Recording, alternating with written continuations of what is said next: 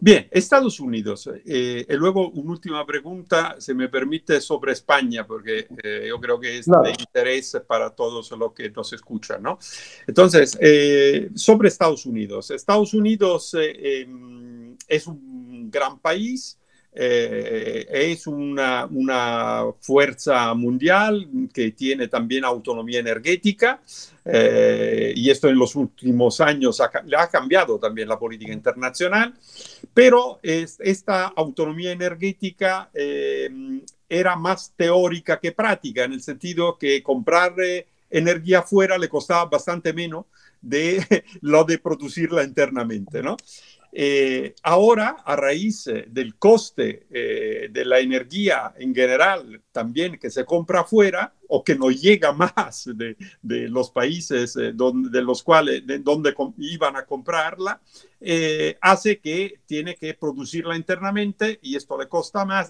Estados Unidos está subiendo una inflación bastante importante tanto que, como decía al inicio, la Fed eh, está reaccionando de manera quizás bastante, al menos el mercado lo está valorando mm, como una, una, manera agresiva de reaccionar con la subida de, tipos bastante rápida e, importante. ¿no? Entonces, em, ¿cómo veis tú la economía americana que tiene una Uh, un empleo um, o un desempleo, decimos, muy bajo. Eh, quiero decir, eh, seguramente no se puede comparar con, con desempleos eh, ni europeo ni tanto menos español, ¿no? Entonces, ¿cómo, cómo ves la economía americana y cómo por reaccionar también el mercado financiero, ¿no? que parece que no le gusta mucho esta política tan agresiva de, los tipos? Yo veo la economía americana eh, muy bien. La veo muy bien en estos momentos.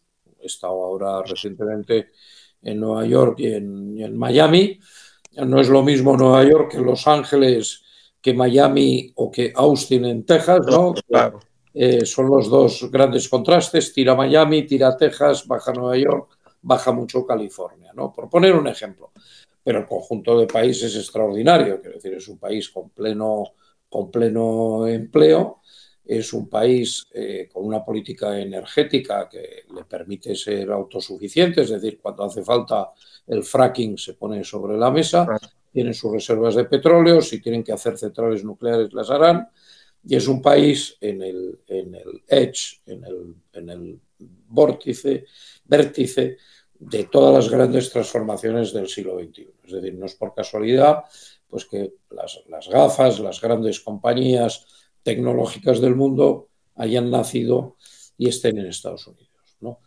Uno, porque es el caldo de cultivo ideal, eh, por su sistema económico, sus riquezas naturales, pero también por su sistema político. ¿no? Hace un poco antes del COVID, eh, en un pequeño grupo de trabajo que tenemos, estuvimos con Elon Musk, ¿no? Y, Elon Musk nos dijo, oye, pues, pues el sábado por la tarde, en vez de seguir aquí charlando y tal, os invito a SpaceX, ¿no? Vámonos a la fábrica de, de cohetes. Ah, bueno, muy bien y tal, pues yo pongo el autobús.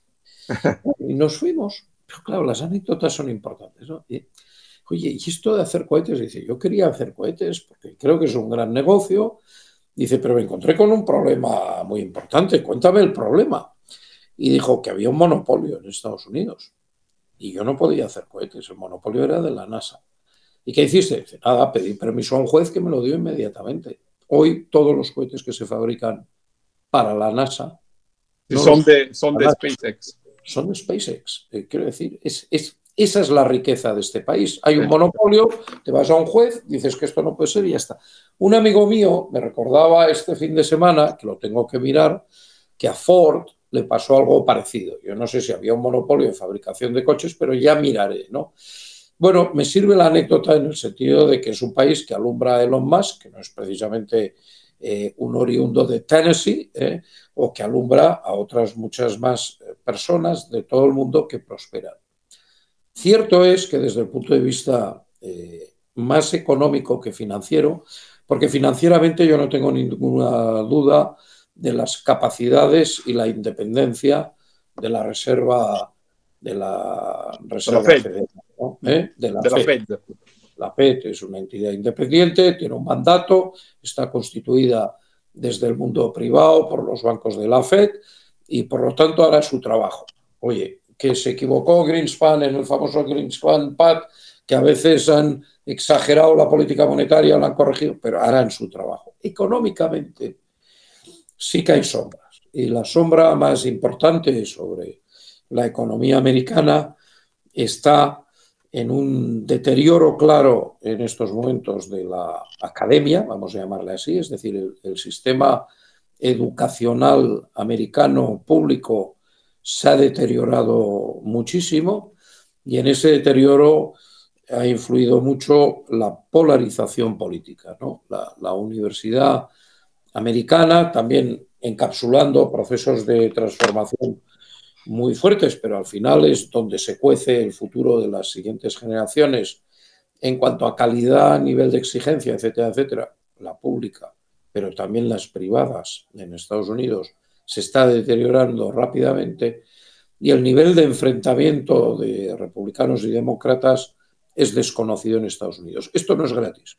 Eso, a diferencia de todo lo demás que he contado, tendrá consecuencias en. La, en la brillantez de la economía americana, seguro. ¿eh?